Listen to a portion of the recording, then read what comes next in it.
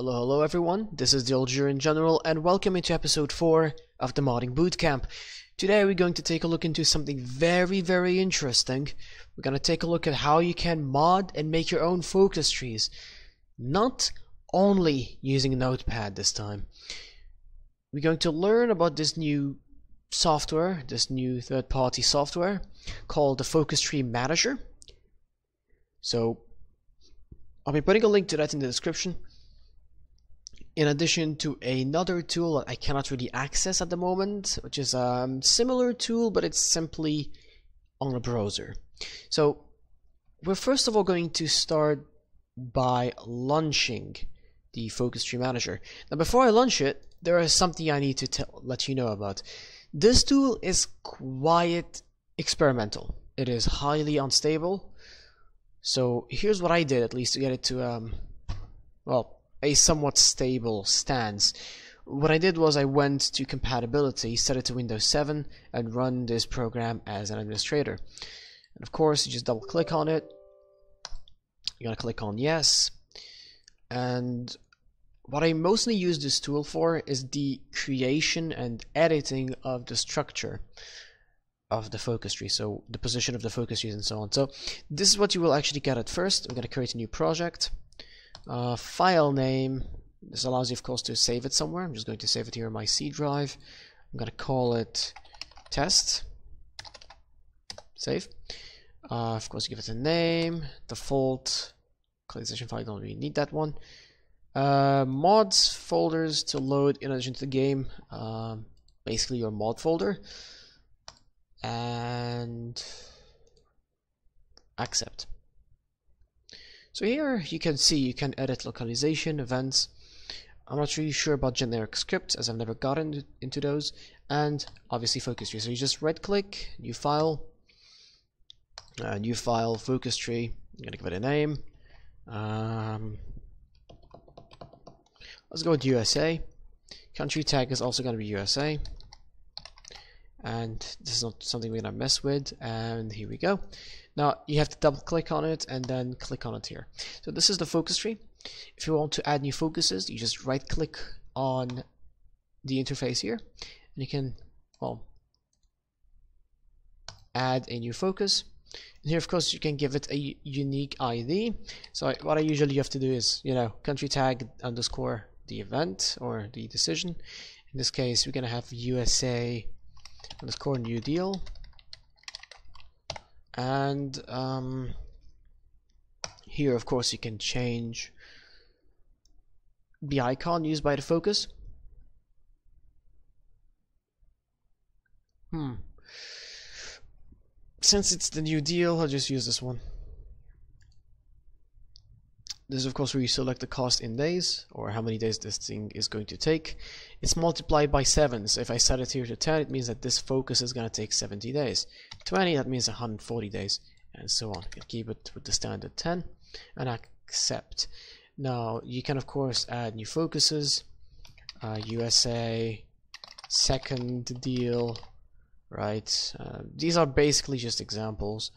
I'm gonna use them just to show you the functionality here the deal. So let's say I want to make these two focuses exclusive, mutually exclusive. You just right click, make focus mutually exclusive with, and you click on the other one. These two now are mutually exclusive. If I want to make this focus require this one, I can just right click, add a required prerequisite and prerequisites, and here, there you go. Uh, let's say I want to make this focus accessible if I have this or this. So optional prerequisites. Uh, just click and then again, here you go. You can of course move things around. You can draw a box and move things around. Um, honestly, this is quite simple stuff. Um, but now you must be wondering, how do I add triggers? How do I add bypasses? How I do I add these things? Well, you see, you just go to edit uh, internal script and this is where you can edit it you can add um, what we call complete reward but you know I don't really like doing this here simply because of how unstable this tool is uh, at the moment.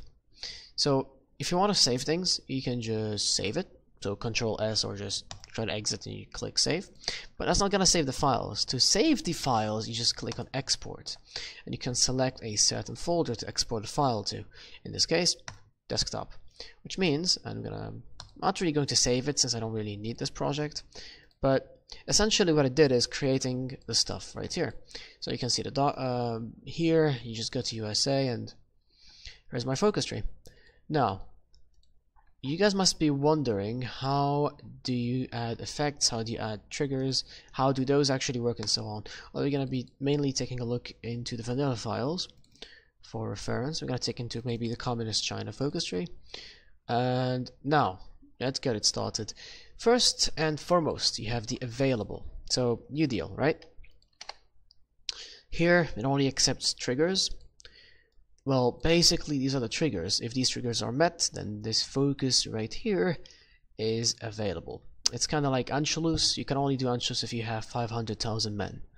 So if I want to do the same thing, his uh, has manpower greater than 4, well, there you go. Right? Simple stuff. That's the available part. Bypass. Now bypass isn't really used on every focuses, but let's just say that Germany has the focus, which is Anschluss. Anschluss is actually a perfect focus simply because it contains almost all these uh, kinds of syntax, shall we say. So a bypass, if these triggers are met, if these conditions are met, I can just bypass that focus. So if Austro-Hungary has actually reformed, I can just bypass the Anschluss. Simple, isn't it? Now, uh, these we're gonna get into them in a second. Completion reward. Completion reward is actually an effect. An effect.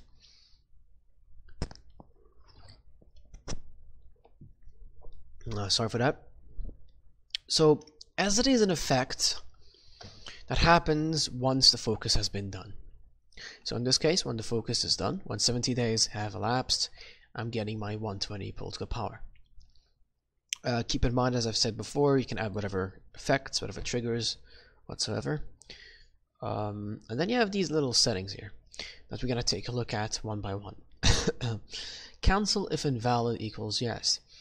This means that if the triggers for this focus here are no longer met, kind of like the Anschluss, where if I don't have more than 500,000 men, this focus is cancelled until I have the conditions met again, I can retake that focus. Till then, the focus will be deleted. Continue if invalid, no.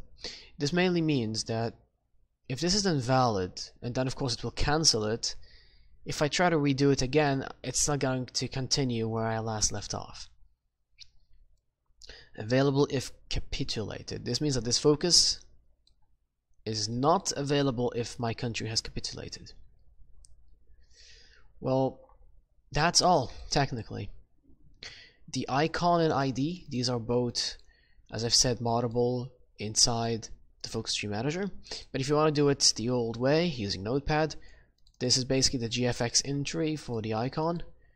You can find all the icons that you want in GFX and you go to interface and goals. And here of course you can find all the icons that currently exist. Simple stuff. ID, just like any event or any decision, it's a unique name, a unique syntax for that focus. Um, again, these are quite simple stuff overall.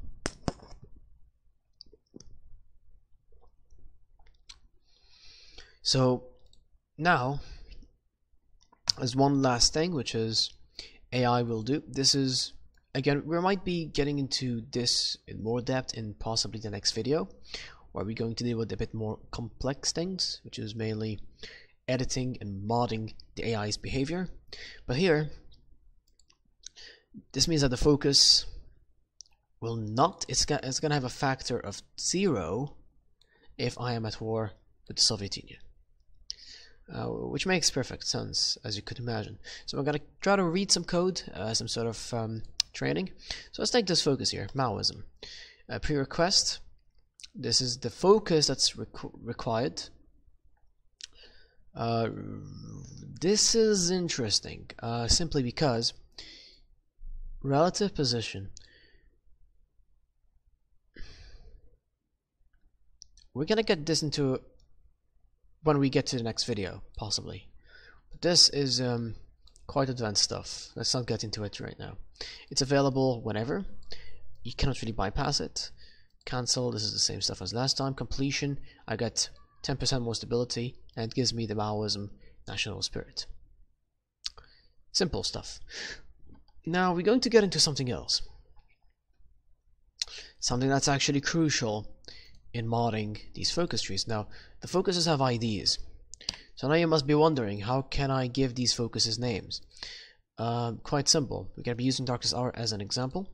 So first of all, we're going to check the new uh, Soviet focus tree that I have been working on. Um, well, not just me. Uh, the whole dev team has been working on it, but as you can see, none of these focuses have effects at the moment. This is actually an old version of the file, but um, let's say NKVD internal troops. I want to give this focus here a name. What you do is actually add an entry in the localization. So you go to localization. I have it under replace. You cannot have it there. It's all up to you. Here we go. DH focus. And you just add the ID and the name you want.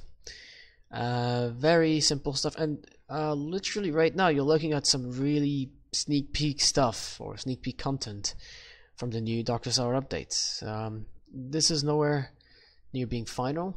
This is actually all old files at the moment. Most of these things have possibly been changed or expanded, uh, but um, yeah, that was just a heads up. But yes, this is of course where you set the localization of your events. Now, of your focuses, sorry. If you want to add the description, you just do the same, which is the focus ID underscore desc. And this is of course, the description for that focus. You may leave it empty if you want, just like I did here. Description is empty. Well, I believe that is going to be all for part one. Uh, I might make a part two about shared focuses, about the rel relative positioning, hiding focuses, and so on, uh, which are things that I myself are, well, I'm not really familiar to these concepts yet. I'm going to be doing some research on them, on how they work.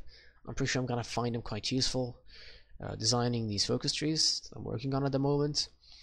I would love to thank you guys for being with us today. I really hope you enjoyed the video. If you did, please leave a like and make sure to subscribe to the channel to get notifications whenever I make new content. Uh, it would also be amazing if you would join my Discord channel or my Discord, uh, Discord server. It allows you at least to reach me at a much easier way. If you have any questions about today's lesson, leave it in the comment section down below or send me a PM or leave it uh, as a message in the proper channel on my Discord server. That was the Algerian General. I will see you guys in the next one. Cheers.